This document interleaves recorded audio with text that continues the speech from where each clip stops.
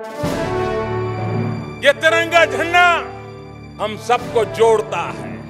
ये तिरंगा झंडा वीर बलिदानियों की याद दिलाता है।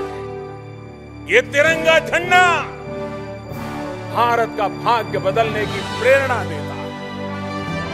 तिरंगे झंडे से बड़ा क्या होता है हमारे लिए?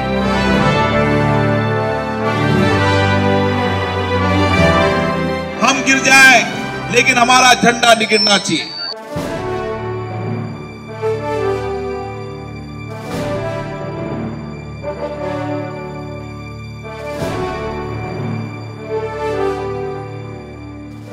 आज जिस खुली हवा में आप सांस ले रहे हैं, इसके लिए हज़ारों हज़ार शहीदों को नमन करने के लिए, उन्हें याद करने के लिए तिरंगा यात्रा का आयोजन हुआ है।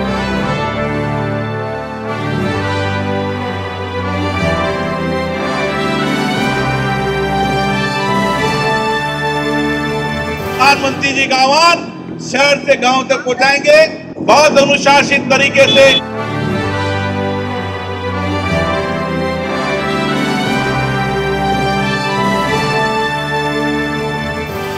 तिरंगे झंडे को लेकर के आज़ादी के सत्तर साल निमित्त गाँव गाँव गली गली फिर एक बार देशभक्ति का ज्वार चले। देश के लिए मन मिटना नहीं है तो देश के लिए कुछ करने का विश्वास पैदा हो। ये माहौल बनाना है।